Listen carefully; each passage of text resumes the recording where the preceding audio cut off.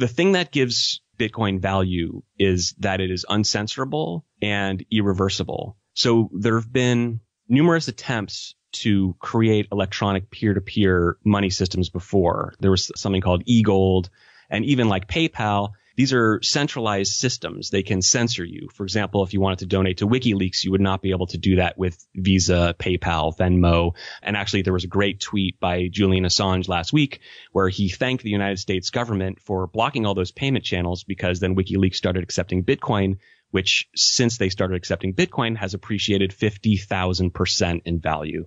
So Julian Assange personally thanked the U.S. government for getting them that huge windfall.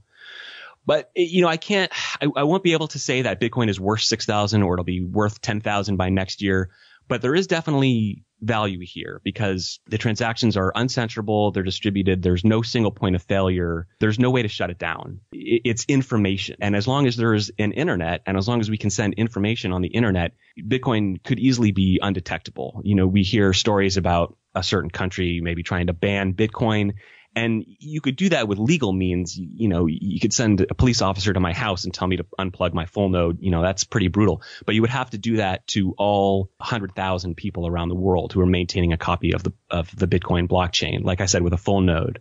And that, you know, even like uh, I've seen criticism that oh, one EMP would knock out Bitcoin. Well, that's true, but it would have to be an EMP that wiped out all these thousands of tens of thousands of computers all around the entire world. It is distributed. There is no single point of failure you know, so it's not a bank. If Bank of America goes bankrupt, a lot of people are going to lose money. That's going to be, you know, or if a bank is either shut down or hacked or there's, um, who is a guy from MF Global who like stole all his users' money? I mean, this kind of stuff happens uh, all the time. And the thing about Bitcoin is that you don't need to trust any third party. And that's the value proposition. And what the Bitcoin software does is it for the user provides that security and verifiability.